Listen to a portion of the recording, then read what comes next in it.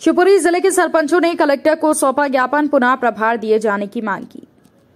शिवपुरी ज़िले के एक सैकड़ा से अधिक ग्राम पंचायतों के सरपंच, कलेक्टर कार्यालय पर एकत्रित हुए, जहाँ उन्होंने एकजुट होकर मुख्यमंत्री के नाम एक ज्ञापन कलेक्टर को सौंपा।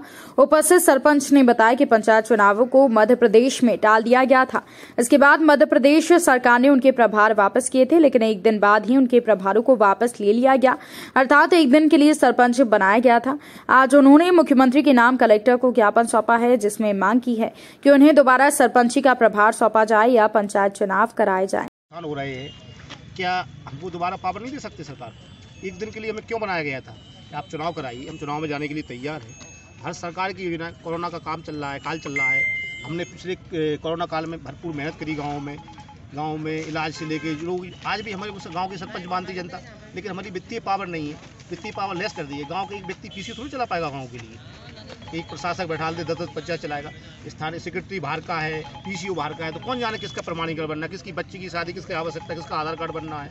गाँव में कचरे के ढेर लग रहे हैं विकास कार्य ठप पड़ गए हैं। बहुत परेशान है जनता। माननीय मुख्यमंत्री जी ही निवेदन है कि हम लोगों को जब तक चुनाव नहीं हुए जब तक के लिए। आपको एक दिन का प्रदान कितनी तारीख के लिए बनाया? हमारे लिए चार तारीख को आदेश पाँच पाँच तारीख को हमारे आदेश वापस ले लिए गए। और पिछले जो आदेश हमारे दो साल तक हमने कार्य किया है, सरकार उसके लिए धन्यवाद की बात है सरकार। हम सरकार से यही आशा करते हैं, सब उन्हीं के लोग हैं। उनको हमने बार चौथी बार मुख्यमंत्री बनाने में मदद करते हैं, भरपूर। आज हम लोग इतना दुखी क्यों कर रहे हैं? हमारी बेइज्जती करा रहे हैं। अगर आपको वित्तीय पावर नहीं दिए तो क्या मुख्यमंत्री नहीं बनवाओगे इस बार नहीं नहीं हम हम उनके लिए अगर हमारे पीछे पब्लिक के काम नहीं होंगे तो हम क्या करेंगे? बताइए मदद नहीं कर पाएँगे? ऐसी स्थिति रही है हमारे साथ। तो सरकार की सरकार बनाने में मदद नहीं कर पाएँगे। हाँ या पब्लिक के काम नहीं होंगे पब्लिक हमारी बात कैसे मानेगी? जनता में जाएँगे हम लोग। भाई एक एक सरपंच चार चार आ वृद्धा पेंशन बनवाते हैं सब लोगों की सरकारी योजना पहुँचे सरकारी योजना नहीं पहुंचेगी तो क्या ना भैया आपका और आप सभी लोग यहाँ पे क्यों आए हो? हमने अभी चुनाव की, चुनाव में कूद गए थे हम लोग। कुछ समय पहले चुनाव की घोषणा हुई थी, अकस्मात।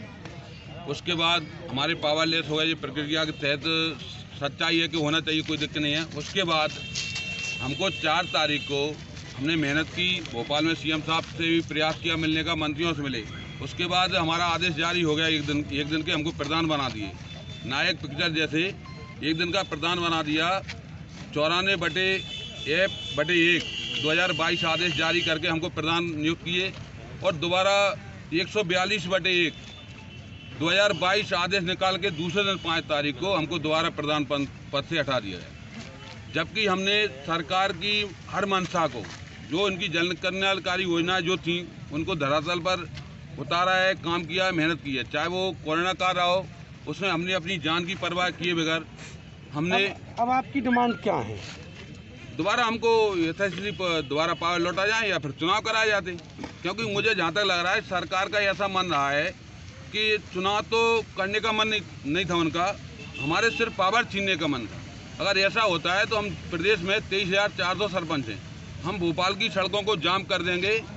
ऐसा करने को मजबूर सरकार कर रही है। तो इसलिए हम हमारा निवेदन आदे- आदेश के माध्यम से आपकी किस तरह की पावर छीन ली गई? है जो पहले जो जो डीसी जो हमारी डीएससी होती है, वो मेन डीएससी होती है और हमारे को पावर अभी वर्तमान ऐसे कुछ है नहीं, काजों में ज़रूर हैं छत्तीस विभाग के, मगर धरातल पर हमारी पंचायत का ये हेल्पर मैकेनिक नहीं मानता लैंडमैन नहीं मानता। तो हमारी जो बात है कि हमारी जो डीएससी दोबारा पुनः बहाल की जाए। हमारी शासन से मांग है, मध्य